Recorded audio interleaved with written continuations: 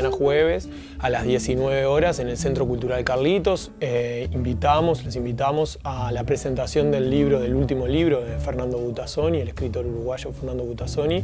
El libro es Los que nunca olvidarán, un libro que habla sobre la casa de un criminal de guerra nazi por un comando de la inteligencia israelí en los años 60. Entonces, básicamente, más allá de, que el libro está buenísimo, eh, mañana la invitación es a conversar un poco de esto con Butazzoni, con su autor, con Milton Fornar, un escritor y periodista también muy reconocido que lo acompañará Fernando en la presentación y en, la charla. Y bueno, a compartir un poco y la excusa de, de juntarnos con cuidados, con precauciones, pero a conversar de libros, digamos.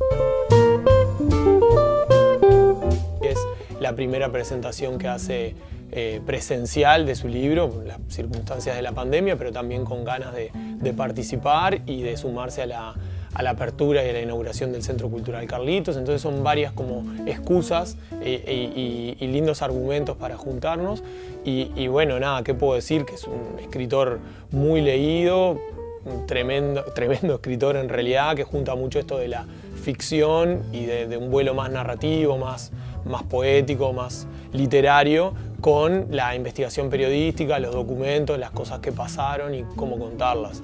Él tiene una novela, Las, cenizas del cóndor o El tigre en la nieve, dos novelas que, han sido muy leídas y que son referencia de, nuestra historia reciente, digamos. Eh, y bueno, y creo que con esta se aleja un poco porque va más a una historia universal del siglo XX y no tanto en nuestra historia particular como Uruguay, pero es un tema súper interesante que tiene que ver con, los crímenes de guerra y, a mí me parece muy sugerente el título y, la cuestión del olvido y el perdón. Me parece que más allá del tema puntual de la guerra, eh, hay algo de sanar heridas y el olvidar y perdonar que creo que es muy pertinente para todos, para los uruguayos también.